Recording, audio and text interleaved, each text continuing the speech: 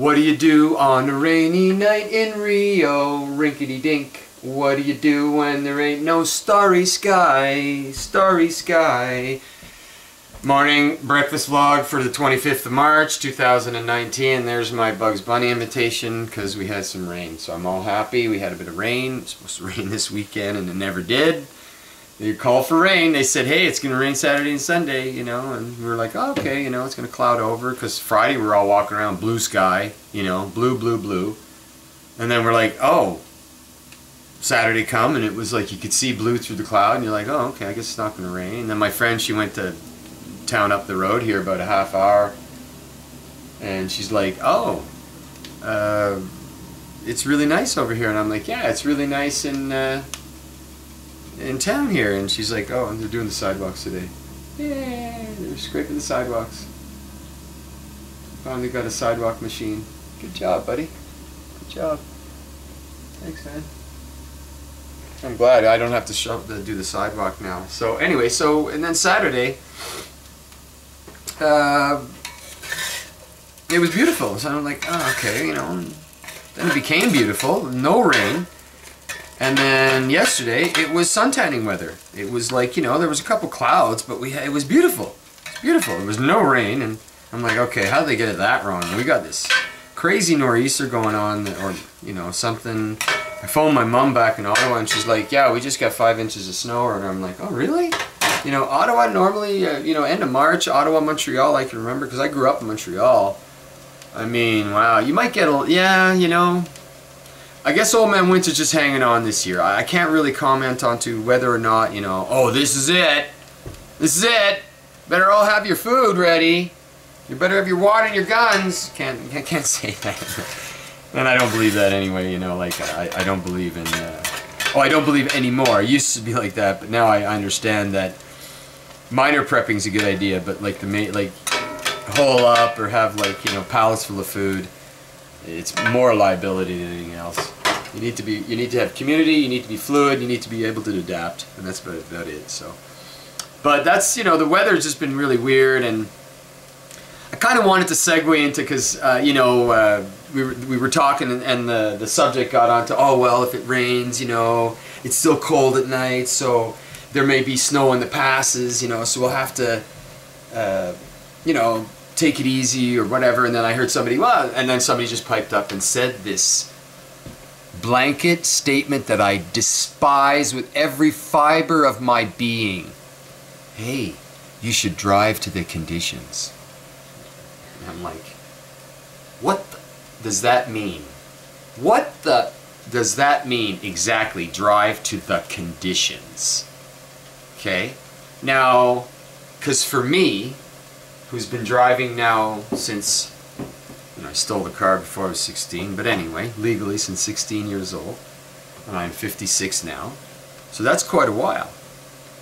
And uh, in my experience, uh, driving to the conditions is the most ambiguous uh, roundabout term that you could use that really says nothing. Because when I'm driving down the road in my well kept up 2005 Ford Escape with the Singer sewing machine engine in it, the four banger, I can do 140, 150 with the tires that I've got safely on a nice road that's straight and you know highway double separated blacktop or something like that. So buck 40 buck 50 is not unreasonable. You know it's stable at that. I've had incidents where i've been at that speed where i've had to avoid animals on the road or something.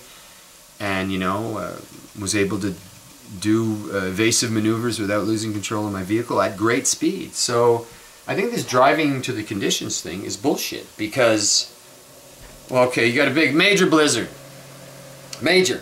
I mean, visibility is reduced and some people are driving at 80 kilometers an hour some people are driving at 10 kilometers an hour. Now I know that 10 is much safer and that if you want to say driving to the conditions, like 200 years ago, there was, everybody drove to the conditions because you only had a horse and cart or whatever, so you had to do that way.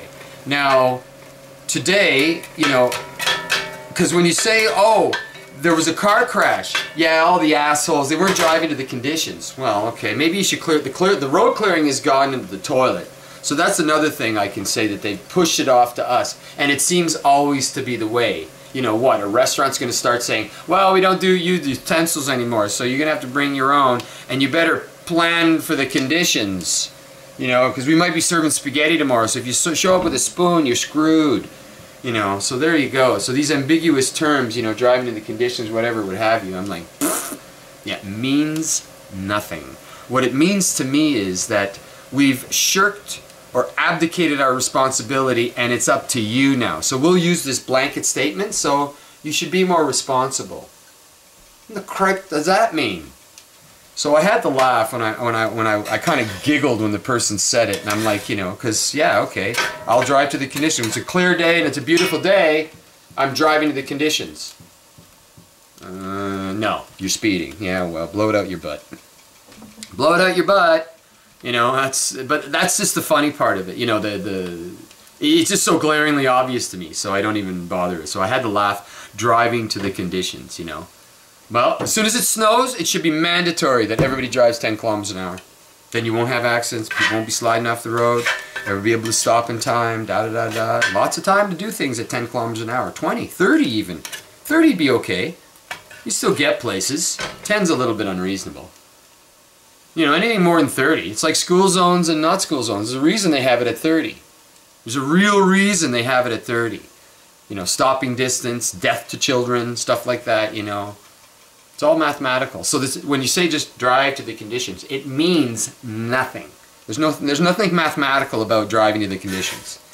You know, very ambiguous statement. So anyway, that's enough of that. I just found it funny, and I think it's just something that should be made fun of. I think it'd just be something that anybody says, you just make fun of them. It's like, really? And what does that entail?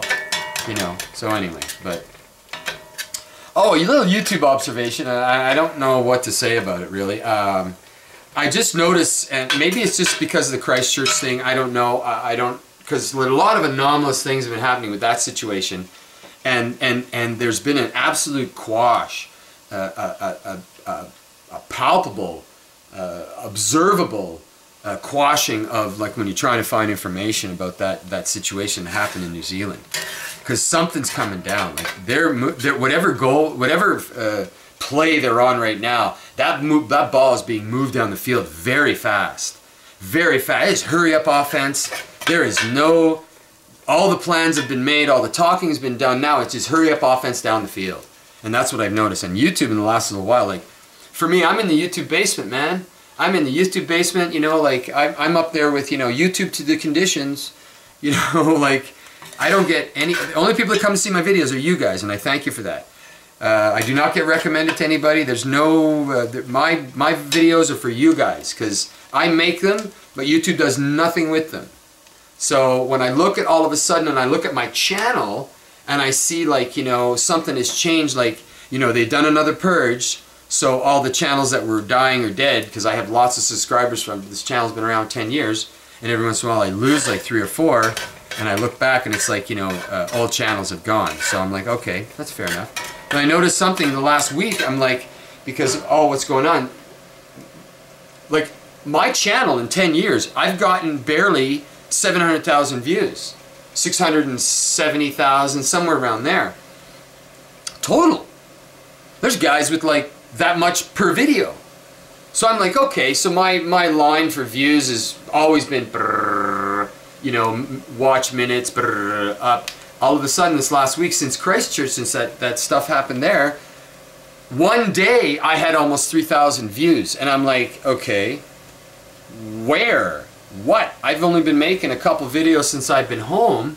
Now, you know, what I my, my conspiratorial tinfoil hat mind says is that because uh, there are entities out there that steal your I don't know why they would steal my videos, but this is just a hypothesis of mine that there's entities out there that will steal your videos and somehow garner income from your videos. They'll put the, I don't know, other countries possibly. I don't know, I don't have you. So if somebody's stealing my videos, it's at all possible that one of my videos was stolen and before the view, like I got credited the views or something somehow because none of my videos in all of my, even when I was doing conspiracy stuff way back at the beginning, I was getting maybe four or 500 views per video you know, when I was talking all the Alex Jones stuff. When I was doing Alex Jones type videos, you know, just talking out of my ass, not vetting, just like, yeah, the crash is coming, you know, just, you know, just stuff, you know, fear porn. And, you know, I should re-release all those videos. They're all still there. I just made them unlisted. But if I if I if I relist them, it's going to flood your feed. So I don't know if I'll do that. But so when I see these anomalous things happening, and also I notice also my channel used to be mostly men.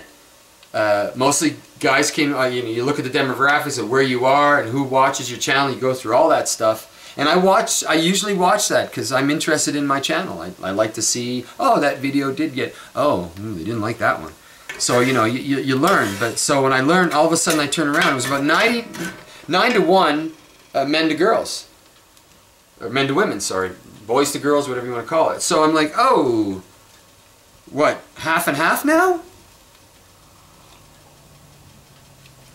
I'm like, that doesn't even make any sense. Like, it can't, like, nothing so dramatically changed in my content or my existence that all of a sudden it's no longer all men, that it's half and half women and men. Something changed. Something changed either. It's probably YouTube. YouTube's doing some shenanigans again and, and uh, doing the old uh, milkshake and then letting, and then going, just pouring the milkshake in and things are just getting drained out and filtered off and everything like that. So I noticed that YouTube's doing some shenanigans again, and that, that doesn't surprise me. And I, I, it's very noticeable to me because I'm I, I've been at this for 10 years, and I'm I'm just normally consistently, you know, like there's one channel that has my channel, like they do every, all the YouTube channels and perspective for growth and blah blah blah blah blah, and how long have they been here, and it's like you know my channel is uh, it's it's I think I, I might get a. it says like the perspective for a thousand subscribers might be around 2020 or something. So it'll be a while. So, but I noticed that. So you know something's going on. You know, and I say that a lot, but something is always going on. So you know, something is always going on. Whether or not it be something that really matters to you, well, that's up to you. But anyway, I'm rambling. I hope you're doing well. Once again, I'm thanking all of you coming out. You know, new and old, new and old. Been here for, well, I've had the channel since 2006. I've only been making videos since 2010. But I have been commenting before that. So I've had the channel for a long time. And I ain't going anywhere. YouTube can leave me in the basement because I'm happy to do these videos for just you 10, 12, 30 people. Hey man, I don't know if I could handle more.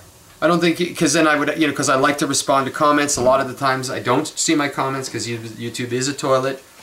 And then I'll see something and it won't come till later, or I won't get a notification. So because it doesn't play fair, it's it's almost like, mm, well, maybe I don't want my channel to be that big because I want to be able to interact with you.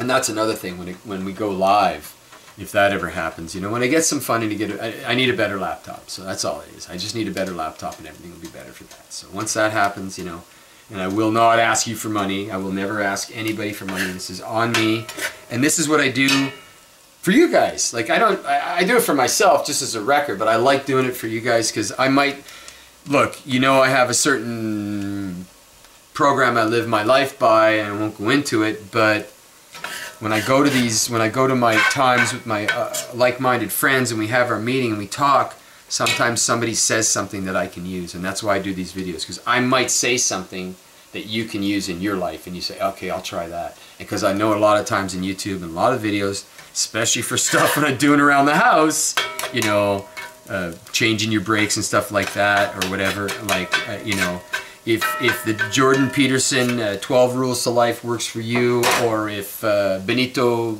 Massaro, or I can't remember his last name, you know, if that works for you, or if the you know meditation works for you, or if my videos work for you, then that's great. You got to find out what works for you and go with it. You know, you know, you may love to play football, but if you're no good at it, maybe you should play soccer. I'm just saying that. I'm just saying. Anyway. Rambling. Yeah, looks like it's going to stay gray. It was good to see the rain's taking the snow away, but it's still kind of chilly at night. Peace to you and yours. Hope to see you on the flip side.